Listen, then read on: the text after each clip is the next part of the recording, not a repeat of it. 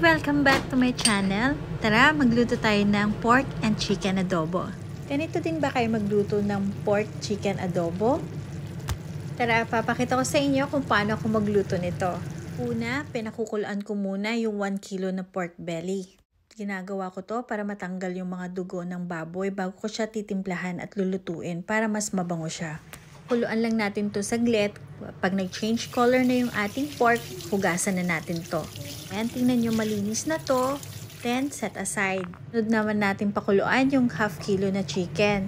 Same procedure lang din. Kapag kumulo na ito, nag-change color na, then hugasan na rin natin to. Kaya ako ginagawa to para mas malinis yung ating lulutuin na ulam.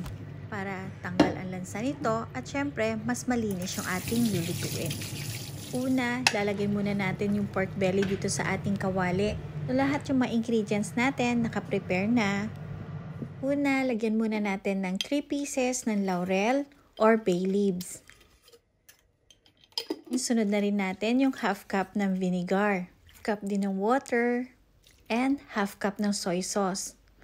2 tablespoon ng oyster sauce, and 1 tablespoon ng brown sugar, then 1 tablespoon peppercorn. Haluin lang natin itong mabuti, then tsaka natin ito i-marinate ng 1 hour. Muna natin to balikan natin to after 1 hour. After 1 hour, pwede na natin ito lutuin. Medium heat lang. Pag kumukulo na to, lagyan na natin yung 1 chicken cube.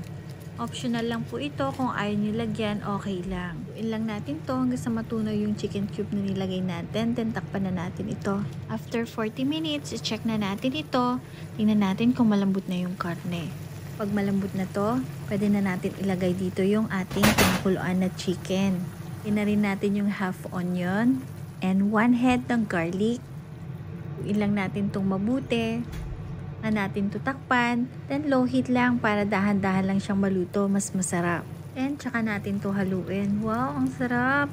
Ang bango! Amoy pa lang ulam na. Sobrang sarap nitong adobo ko na to.